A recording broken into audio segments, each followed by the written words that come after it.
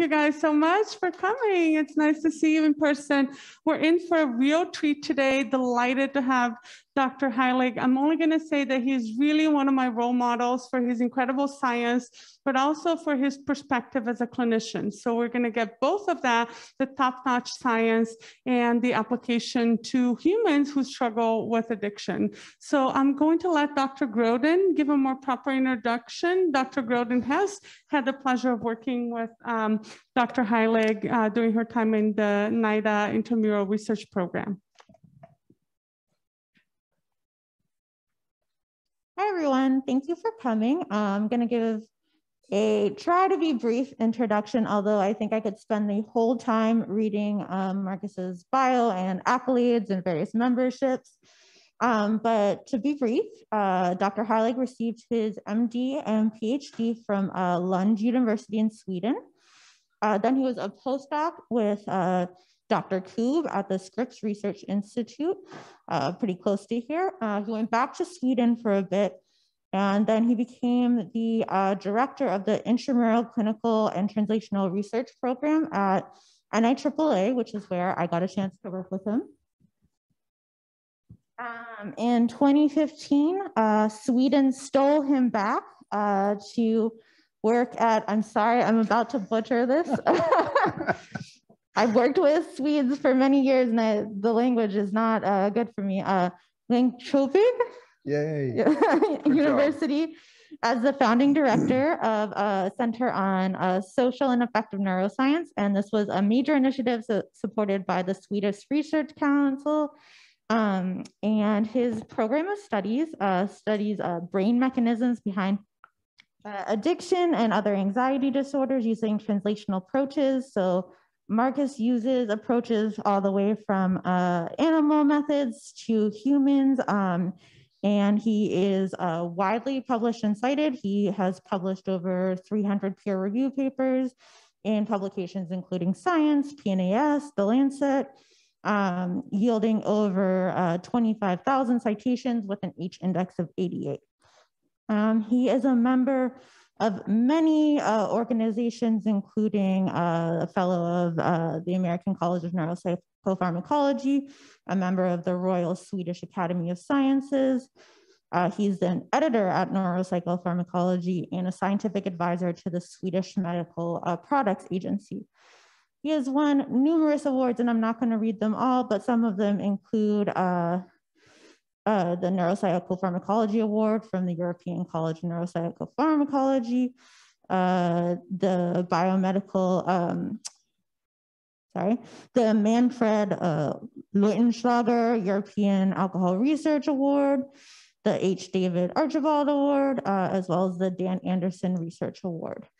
And uh, we're really excited to have him here today to tell us about the neurobiological mechanisms of individual vulnerability to alcohol addiction like behaviors.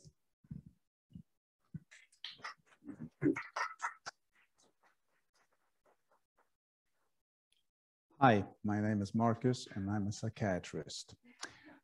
Uh, listen, thank you for the kind introduction. Thanks a lot, Lara, Erica, for inviting me.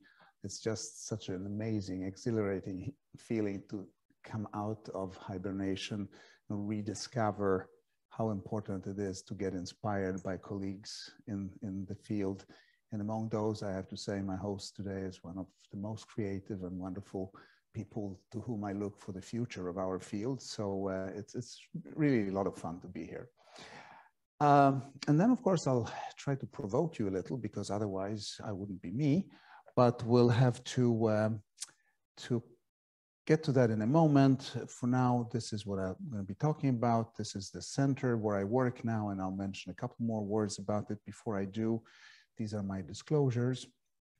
Uh, I guess uh, this is the most amusing one. You can, um, I could spend some of my time talking about the surprise of having federal agents visit your neighbors once you achieve a certain level at the NIH and telling your neighbors that they're from the FBI and they would like to run a background check on their neighbor. Uh, was news to me. It's a past year.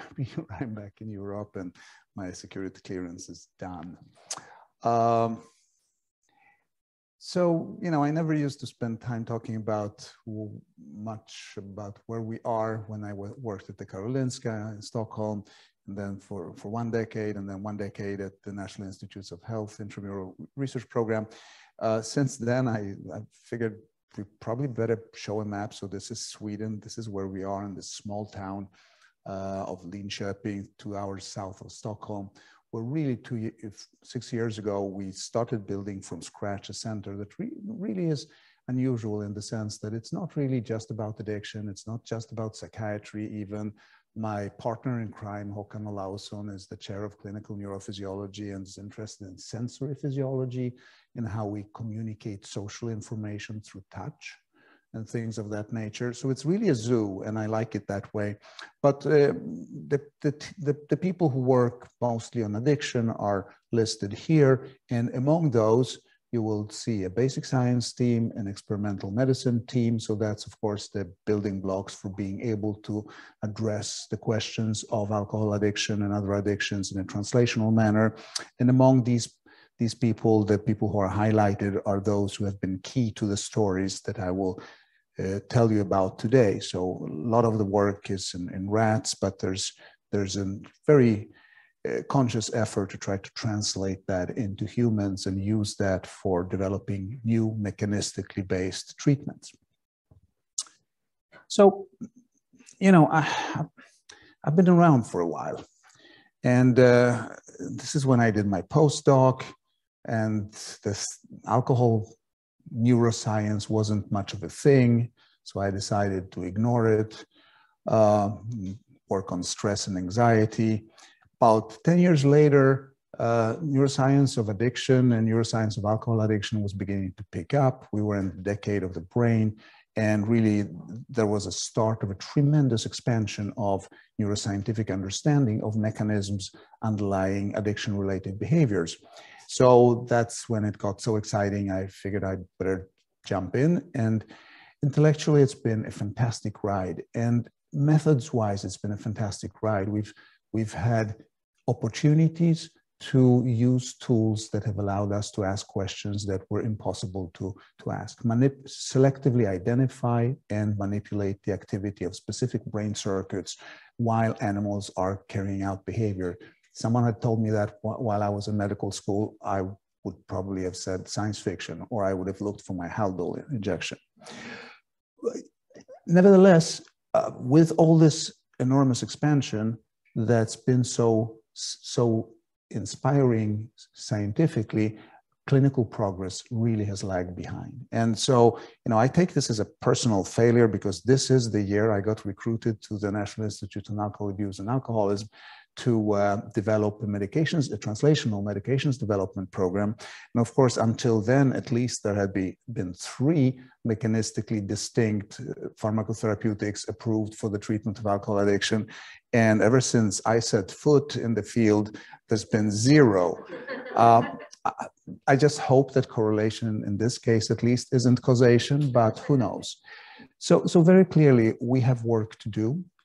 And so oops, that's going the wrong way. Um, and, you know, it's particularly frustrating since we've had great hopes and expectations.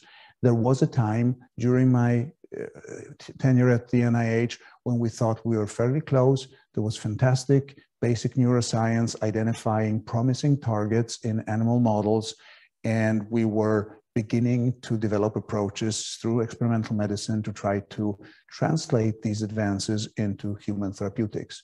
And, uh, you know, so this was obviously the, the, the, top candidate we had. It was a great pleasure for me as a former postdoc of George Koob's to be part of that effort.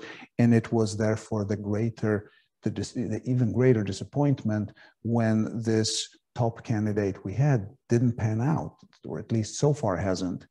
And it's been uh, not like there's anything wrong with us in the addiction field uh, specifically because the failures have been just as disappointing and as perplexing in other stress related disorders such as depression, generalized, in general, anxiety disorders, where hopes for CRH1 antagonists had been great and where things didn't work out clinically.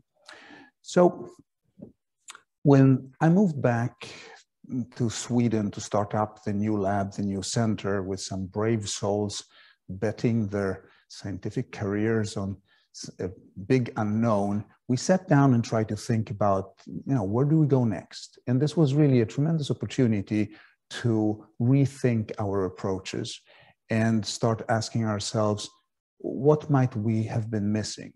I mean, you know, that, that was one strategy. The other strategy might would have been to do what Steve Hyman said, just conclude basic science and animal models in particular are useless. Let's just stop doing them.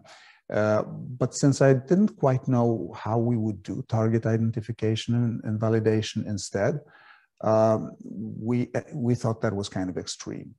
So looking specifically at, at animal work, trying to identify potential targets for novel treatments, we, the first thing that strikes you is, so self-administration has been the standard model since the classic work, let's arbitrarily pick Roy Wise, but there are others before him, of course.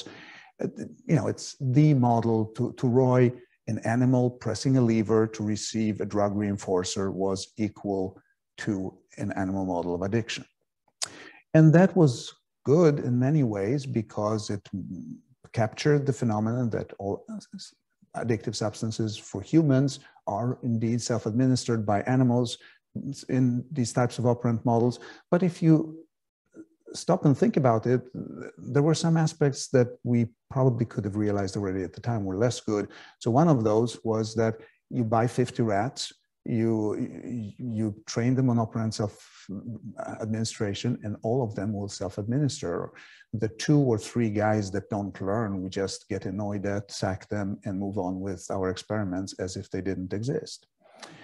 Uh, secondly, we typically study self-administration under what I will call here single reinforcer conditions, basically the only program consequence available to, to the rat through an, emitting an operant response is receiving the drug reward. And the alternative to that is doing nothing or best case scenario, pressing a pass, an inactive lever that won't deliver anything. And then finally, uh, when animals lever press for alcohol, uh, they receive the alcohol and they get to experience the, the reinforcing properties of the drug, and that's end of story.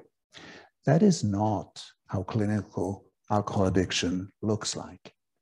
So in the real world of alcohol addiction, there are at least three very fundamental facts that we have to pay attention to that markedly differ from what I just outlined to you.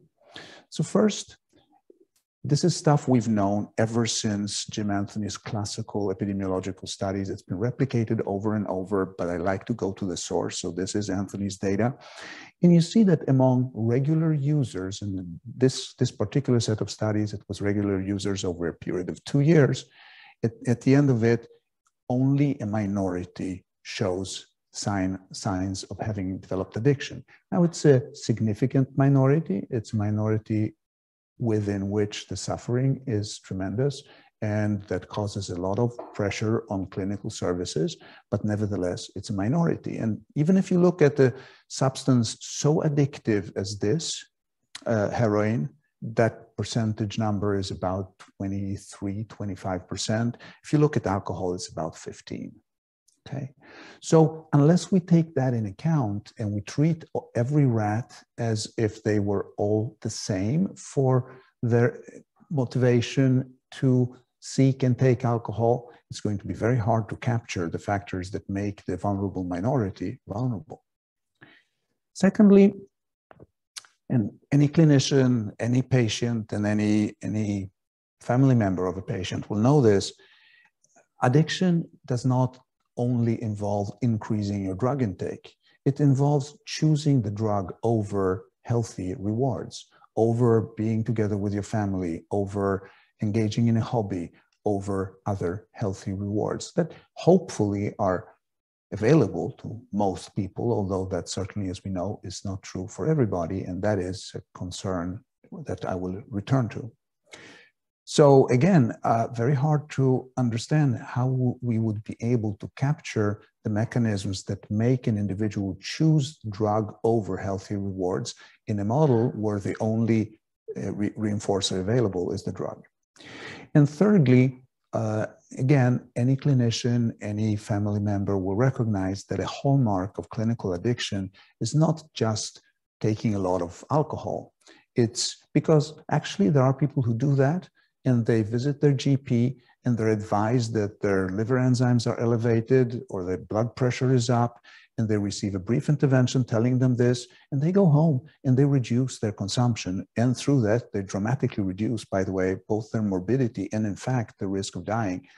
So those people can do that because they're not addicted and the hallmark of addiction is that despite knowing that there are these serious adverse consequences that are that you're up against, you are unable to control the drinking. So a lot of people call this compulsive drinking. I know Nick Gilpin and others in the field don't like that. I don't particularly subscribe to that to that terminology either, but it's convenient because it's short and a lot of people use it. So you know, operationally define continued use despite severe adverse consequences, which is a diagnostic criterion. And the longer I work clinically, the more I, I, I draw the conclusion that this is one of the core features of the clinical syndrome.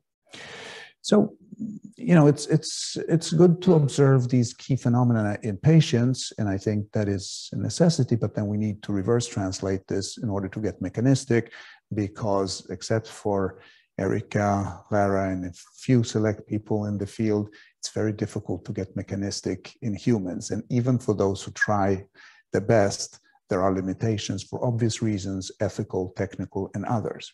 So, uh, but I'll also show you that there are ways you can connect those levels. So, so, so this actually will start out with, with humans.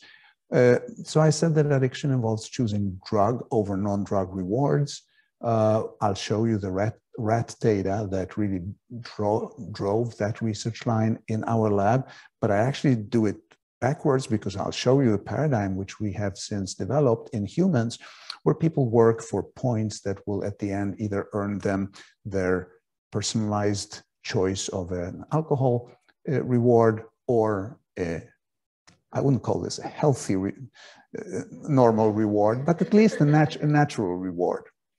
And so one observation that Irene Perini uh, has made, and we stole this from Lee Hogarth in Great Britain, who uh, did this in a bunch of college kids there. We, Irene has improved on this model tremendously, and she has also uh, redesigned it so it's now suitable for uh, brain imaging, which is the next thing we're doing with this. But already in this behavioral study, you can see, so this is AUDIT, this is the World Health Organization instrument for assessing um, you know, alcohol use severity in people. And you can see that you can really capture this choice preference under mutually exclusive discrete choice conditions in humans in such a way that it very nicely shows that the people who are at the low end of drinking and drinking problems in the wild might choose alcohol to a very small extent. The people who are at the high end uh, do just the opposite. So this really uh, shows you, and this requires a lot of tweaking of the parameters that I don't have time to talk about, but once you get it right, there the correlation is, is just tremendous. So of course, this is based on the work that Eric did in the lab. We, so we got Eric from Serge Ahmed in Bordeaux, who reintroduced to neuroscience in the early 2000s, I would say, an old concept that really you know, emphasizes the fact that it's hard to understand motivation to seek and take drug in the absence of alternative rewards. And, and Serge, of course, ran those classical studies where, where rats would self-administer cocaine emitting hundreds, close to a thousand lever presses per session. And you'd think they're as addicted as they come. And then he introduces as an alternative re reinforcer a sweet solution and all the rats stop lever pressing for cocaine. Okay, so in this case, Eric picks up exactly the model that, that Serge developed. So this is, uh, there's a sampling phase. Uh, so first we train the rats to self-administer on regular self-administration. Once they're trained, they go into this. They learn quickly that one of the levers will deliver alcohol, the other saccharin, and then they go into this choice phase. And basically, if they choose the alcohol lever, they'll get that reinforcer, but the other lever is retracted, so it's no longer available, and you keep running this over and over and over and over again. and what happens is Eric's a very brave guy because, you know, in the first experiment, I think he had three rats that would choose alcohol. Everyone else chose the sweet solution. But once you accumulate these hundreds and hundreds of animals, a very clear uh, pattern emerged in which there was a cluster of, of rats that did not behave the way the majority did. So the majority would consistently choose the, the natural reward, the sweet solution, but the minority would go for alcohol. And so uh, we actually, this hasn't been published yet, for we're about to publish it finally now. As, as we did this work, we, we ran a sanity check because this was new to us. And so we figured, how do we convince ourselves that this means something? Well, we had been working for a long time with a model in which by having rats inhale alcohol vapor and go through cycles of intoxication and withdrawal for a long time, seven weeks, we thought we would be able to induce a number of neuroadaptations that result in behaviors that are addiction-like. So I, I, don't have time to go into what those are, but it's really a very broad pattern of increased es escalation of self-administration, increased motivation on progressive ratio schedules, et cetera, et cetera. So we thought if this new choice model means what we think it means, the testable prediction is that if we induce dependence by vapor exposure, then the proportion of the population that chooses alcohol over the natural reward should increase. And indeed, that is exactly what you see here. So in the absence of exposure, you have the 15% that I already showed you, but once you uh, once you uh, induce dependence, you know, you do that and then you allow with acute withdrawal to dissipate. We're not interested in, in what that does to, to individuals. We're, so, yep, you, it shifts upwards 50%.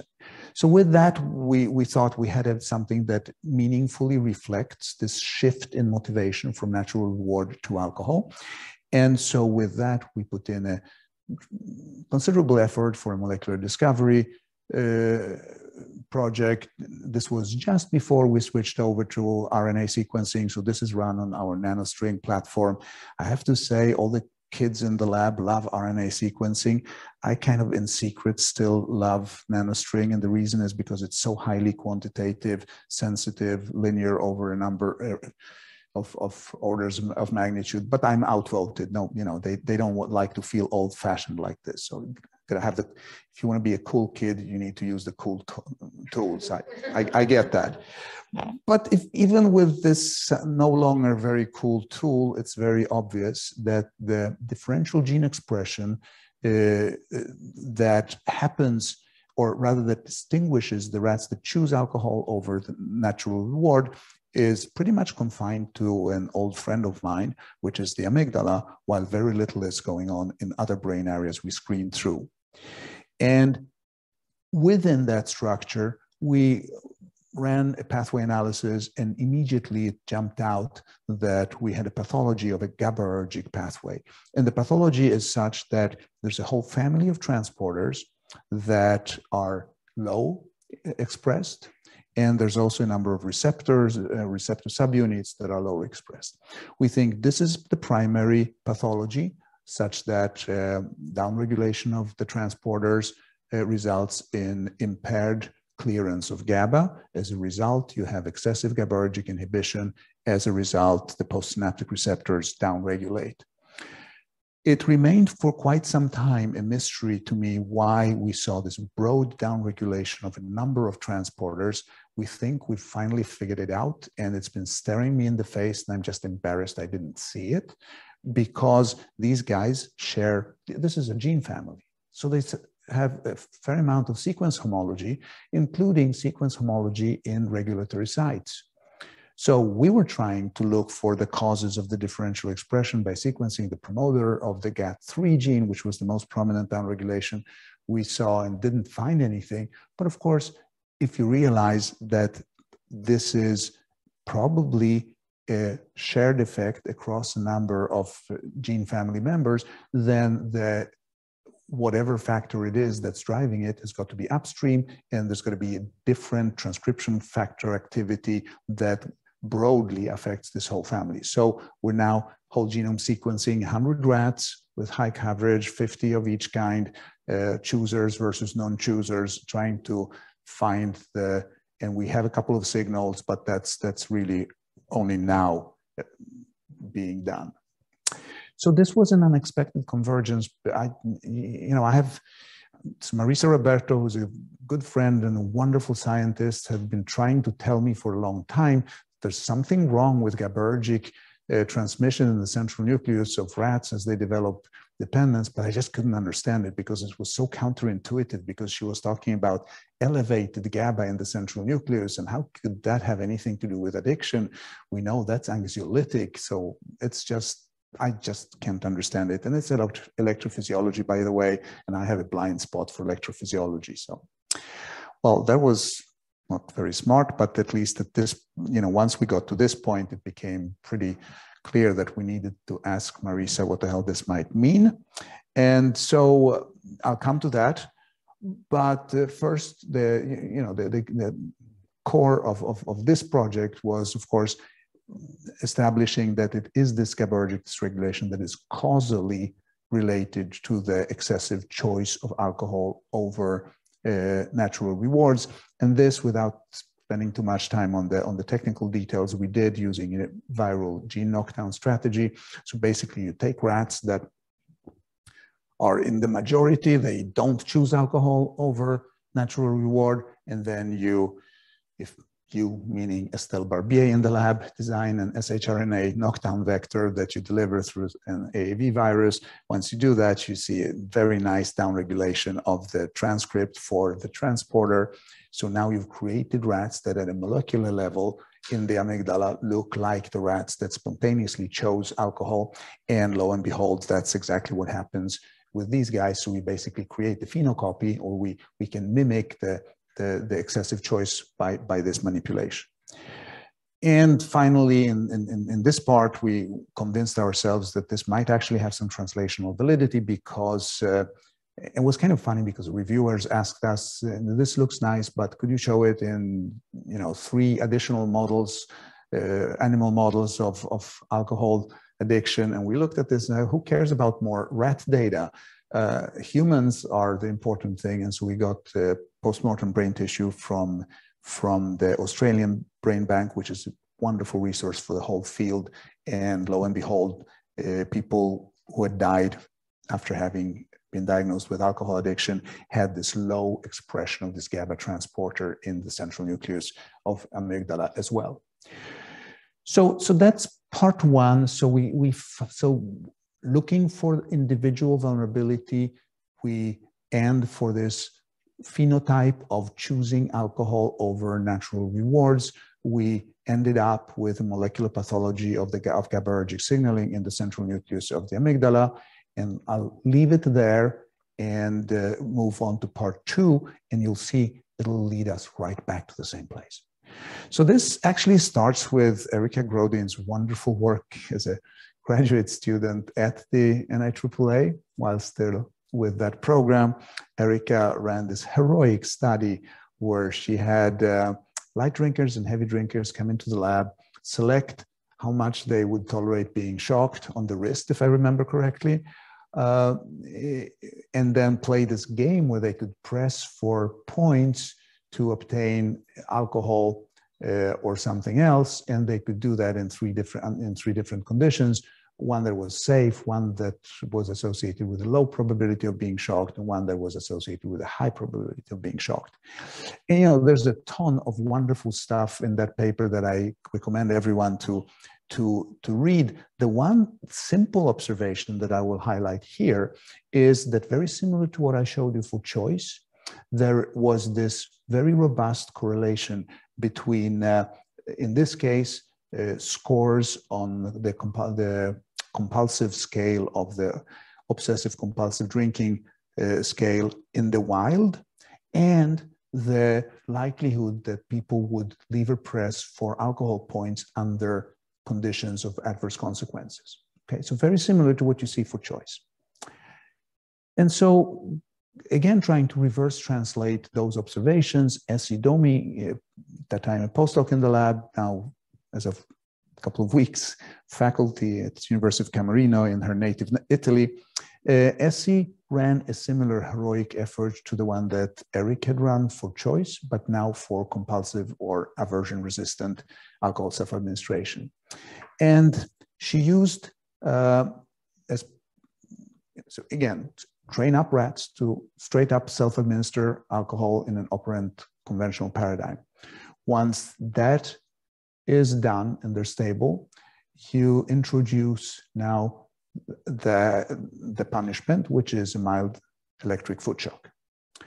And if you had done what we had done previously and what many other labs have done, and we would have stopped right there because if we had just looked for the first few days, there really doesn't seem to happen much other than there is a normal distribution of sensitivity to punishment for, for, uh, for continuing to lever press. The trick is to keep going. And it turns out that the individual vulnerability emerges only over time. And so this is really beautiful because you see this unimodal distribution here keep doing this for two weeks and you get this nice separation into two populations. In this case, the vulnerable population is a bit larger than, than the one for choice. And by the way, they do overlap. We had that in the science paper that Eric, Eric put out with the choice data uh, already, but we didn't really systematically study it the way we, we do here. So we knew that the animals that choose uh, alcohol over the sweet solution also were lever pressing despite negative consequences, namely this foot shock. But in, there seems to be, it seems that those are a subset of a somewhat larger subset, about one third of animals that will be compulsive. So you know, it's overlapping populations. It might be a parametric thing. It might be that you need to titrate the parameters of the respective model to really make the two populations match up. But it's very nice to see at least that they are overlapping and they're completely overlapping. So every choosing rat is a compulsive rat. Not every compulsive rat is a choosing rat. Okay, so this is what it looks like uh, in, in a when presented somewhat differently, what happens once you've pulled out through, and this is, by the way, unsupervised clustering, so we don't tell the computer anything, it's just these two clusters come out, and then we look at, at the self-administration rates under punished conditions over time, and in one cluster, you see this behavior that you probably would expect. This is the majority, the two thirds of the rats that, that really, when negative consequences are introduced, uh, they've been to the GP, they've been told that their liver enzymes are, are high, they've gone home and stopped drinking. Uh, these guys couldn't care less. So, okay, uh, what's driving this? So we embark on this really heroic mapping effort. And in order to understand how heroic Essie's work was, you need to appreciate that trying to figure out the neuronal activity that's associated specifically with compulsivity requires you to parse out or control for neuronal activity that's associated non-specifically with being shocked. And that's considerable. You shock a rat, lots of neurons are going to fire and express FOS. So now you need to run yoked controls and you need to subtract those from those that voluntarily lever pressed to, in order to get alcohol despite getting shocked. So what you see here is the analysis that controls for uh, expression in response to shock and is specific for the compulsive self-administration. And we basically do this massive serial sectioning, FOS staining, and counting, and I could show you bar graphs up and down of individual structures but you know, we we also in another life do brain imaging. We we think networks rather than individual brain structures. So we try to get obviously we can't think networks over time here because the rat's dead, but uh, but we can at least try to get at patterns of coordinated activity. So what we do here is we just run a large uh, principal component extraction, and you get these two factors that come out and seem to be independent of each other. And within one of them, network one, you see uh, these structures, the ba basolateral amygdala, the infralimbic cortex, the orbitofrontal cortex, prelimbic cortex, and then you see this other one, and uh, you see the structures in here. And the thing is that Essie really didn't want the activity that mattered to be in central amygdala because that territory was already taken by Eric, and every postdoc wants to have their own brain structure to work on in the lab. Uh, so she was devastated because what turned out to be the case is that it was this network that encompasses central nucleus and a few other structures that I'm in love with these days. Uh, it was that the activity of that network that differentiated the compulsive and the non-compulsive rats. This uh, network didn't didn't differ. I mean, it's activated, but doesn't distinguish between the two populations. Uh, and it actually gets, you know, so after all that, this, this made me laugh. So we go through this elaborate exercise. And if we hadn't been so eager to stay away from the central nucleus, we could have saved ourselves quite a bit of work because you go straight to the central nucleus and you look at neuronal activity in that structure and the correlation between the activity only in that one node and the compulsive behavior is 70%. So 70% of the variance of behavior is accounted for by the activity in central amygdala. I've never seen data like this over my 30 years in this business. So, okay, that's fine and well, but it's one thing to show that there is a correlation between neuronal activity in the central nucleus and compulsive alcohol self-administration. We're past the age of correlational neuroscience we got to be causal and mechanistic.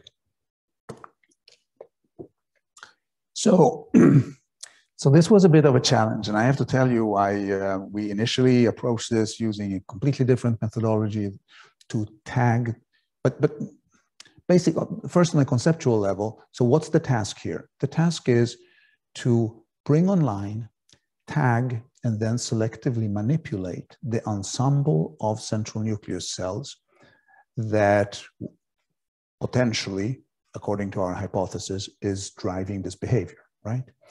So that's uh, not all that challenging these days in a mouse. It's a lot more challenging in a rat where a lot of the of the basic molecular genetic tools and line driver lines are not available. So we actually first tried to approach this using Bruce Hope's DownNode2 uh, method, and which actually which worked. Uh, but um, for various reasons, we ended up going, we, we, tested this as the science fiction option, and the science fiction option worked. Uh, so what happens here is you you train these guys on self-administration. You introduce the compulsive element here, so shock is turned on. You you select out the animals that are compulsive, and now you inject this uh, this animal with two vectors. So one of these uh, will express a modified Cre recombinase, but only under the control of the FOS promoter. So what, what this means is only when the cell gets activated and tries to express FOS will the, the activity of this promoter be turned on and Cre will be expressed. But this is modified Cre, so it's incomplete and it won't do anything unless you also administer an activator, which in this case is tamoxifen. So once you, but if you have expressed, or if you're a cell and you have expressed this Cre and in sufficient quantities, and then you inject the animal with tamoxifen, now this Cre will uh, gain its enzymatic activity and it will uh, be able to express its, its uh, its ability to, to induce recombination. And the specific recombination event we're after here is in the other vector, which got injected simultaneously, which flips this cassette. And this cassette, Uh, which contains a synthetic receptor, and an inhibitory DREAD, has been inert up till now, but now it becomes expressed and it expresses this synthetic receptor that still doesn't do anything. However, now we've tagged the ensemble, right? And so every cell that was active while the animal was compulsively lever pressing despite adverse consequences now expresses this, uh, this inhibitory DREAD. And the testable prediction in this case is Now, if we inject the animal with a ligand that activates the inhibitory dread, and if that ensemble really was driving causally the behavior, the behavior should be attenuated or abolished, right? So that's what we do. And lo and behold, that's exactly what happens. So you only need to really look at these two bars. So what happens here is this is these guys happily lever pressing despite having expressed the, the dread because the dread you know, is inert in and of itself. So the ensemble is tagged, but we're not doing anything to the ensemble. The rats are still happily lever pressing about 20 times per session despite receiving shock. Now we give them CNO, which activates the, the dread, bam, okay?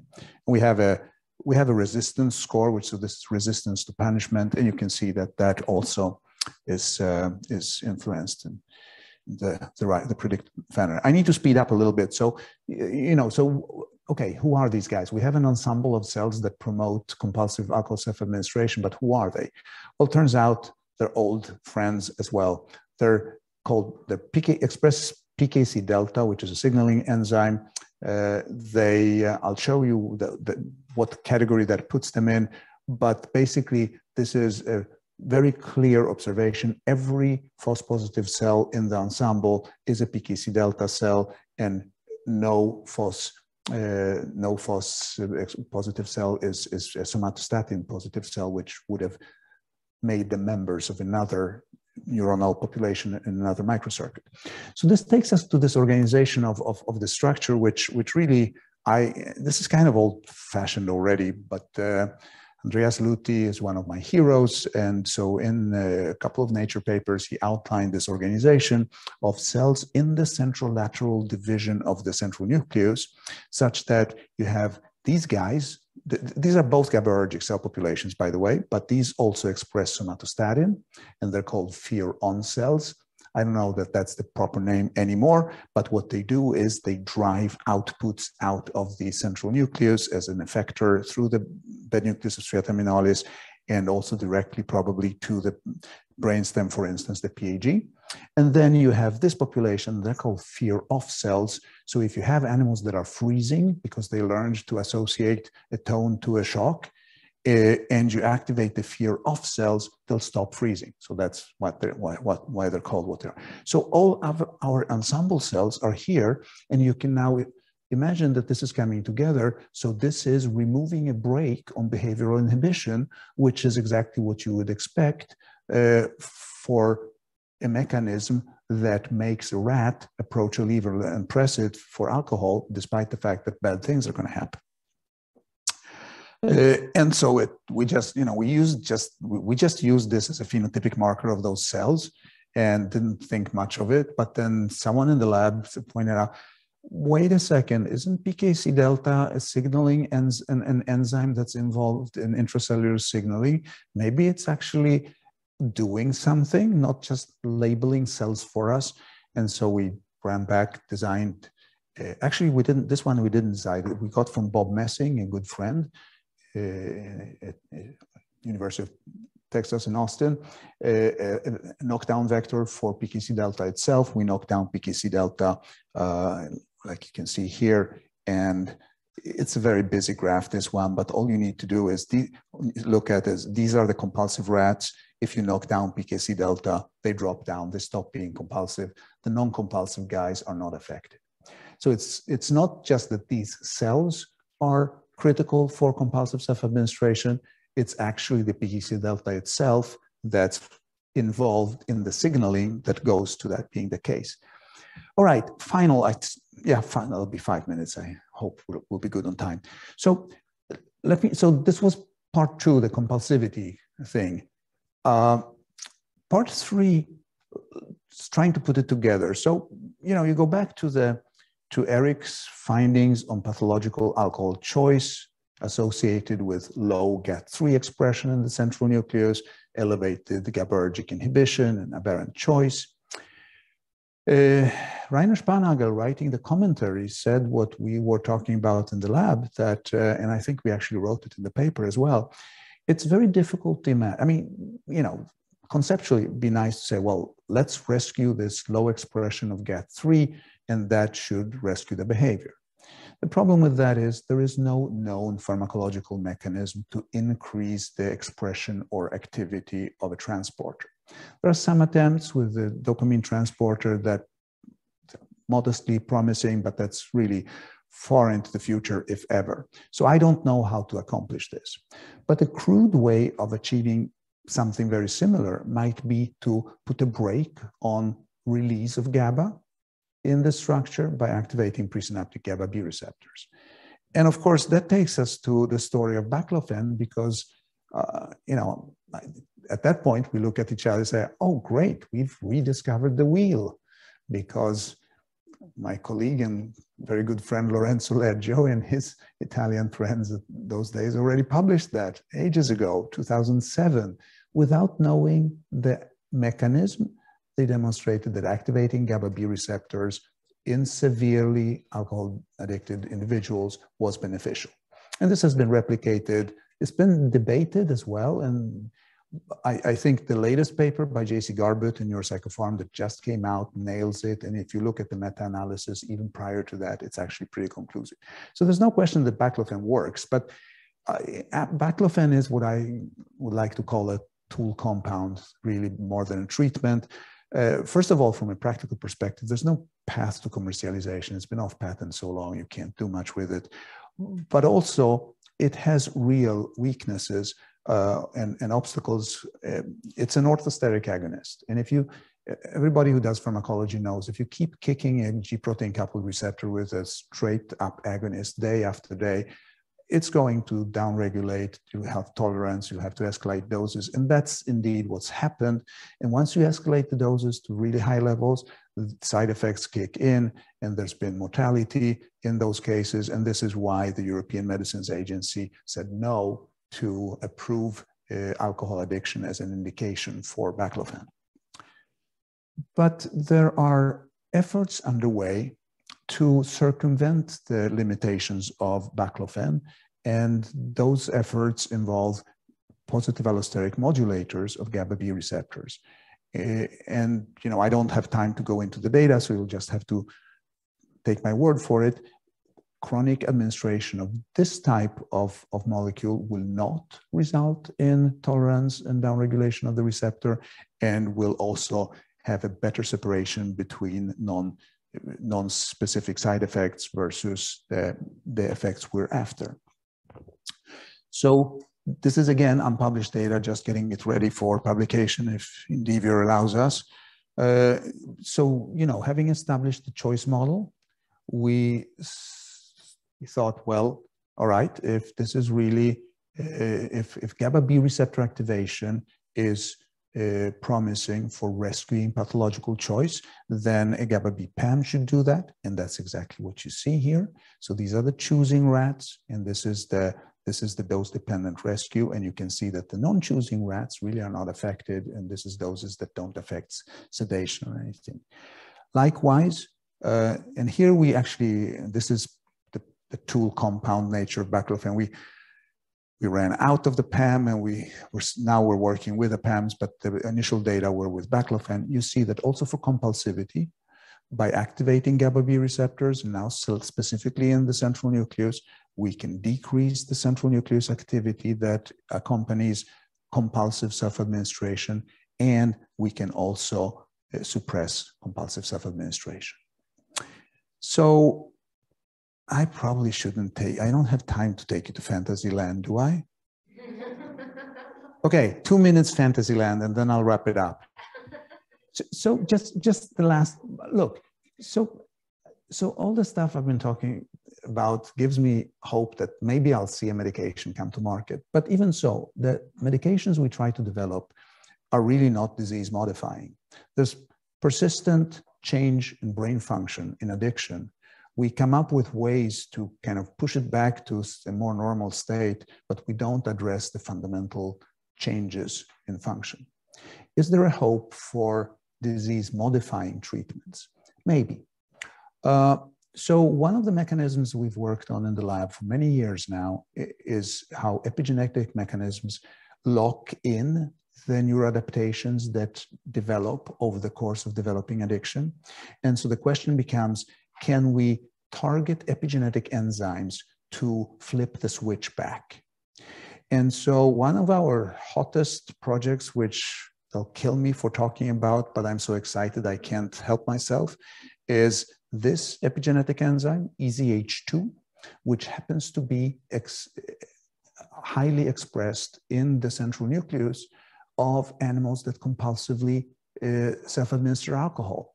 And in this case, we got lucky because the cancer people have already developed an EZH2 blocker. So what this enzyme does, it sets, it puts three methyl marks on histone 3, uh, lysine 27. That is a repression signal, so that turns off gene expression very broadly. And there's a drug to block the enzyme. So we block the enzyme. We, these are compulsive rats uh, infused with saline, right? They stay compulsive. These are compulsive rats infused with uh, EZH2 inhibitor. Takes time. This is an epigenetic mechanism, right? You got to reprogram the transcriptome. Once you do that, they drop down to the level of non-compulsive animals. Now, we don't know if that effect will stay. So whether this is truly something that has the potential to be disease modifying, I have no idea. And by the way, tazemetostat doesn't get into the brain unless you drill a hole through the blood-brain barrier.